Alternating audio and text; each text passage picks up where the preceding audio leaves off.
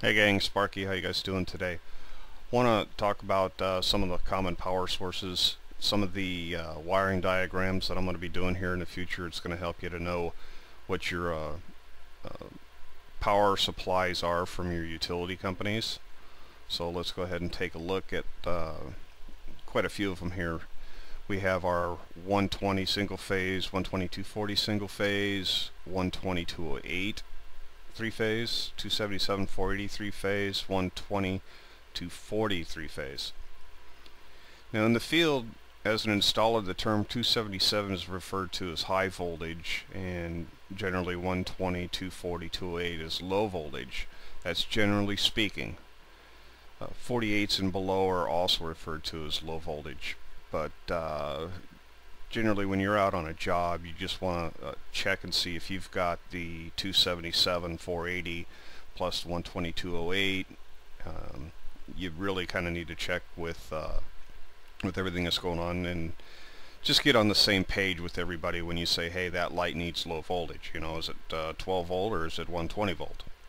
But at least uh, in my neck of the woods that's how we uh, kind of take a look at it. So let's look at some of these power supplies In this one here, we've got the 120 volt two wire single phase. So from your hot to your neutral, you're going to get 120. From your hot to your ground, you're going to get 120. And neutral to ground, obviously, you're not going to get anything. We can jump on over here. This is more common in your homes. 120 240 is three wire.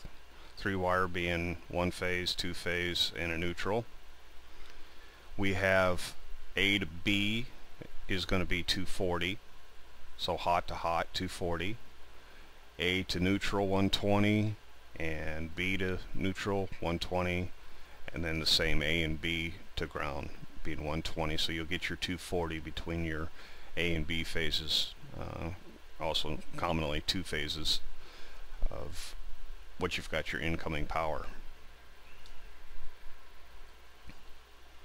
This one is pretty common in commercial light industrial applications. And you've got the 120 208 volt three phase four wire It'd be the A, B, C and a neutral this fourth wire.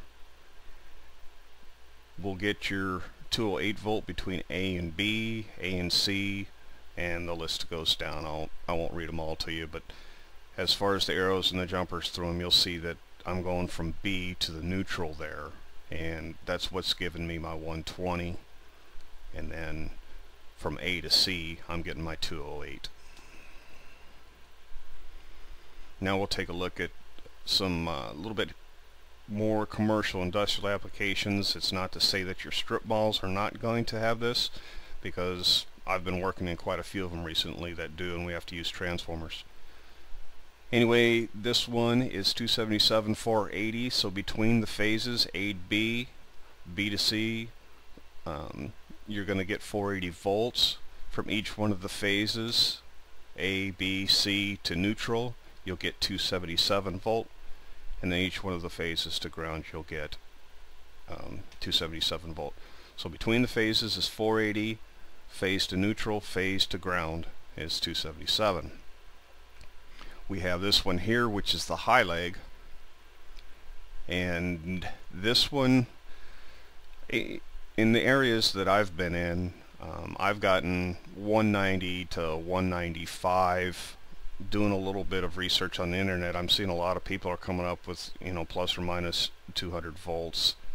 Um, I think a lot of that has to do with what's coming off the transformer. So between the A to B phase, which is NEC regulated as, uh, you should tape it as orange being the high leg. Between the A to B, you're going to get your, your 240.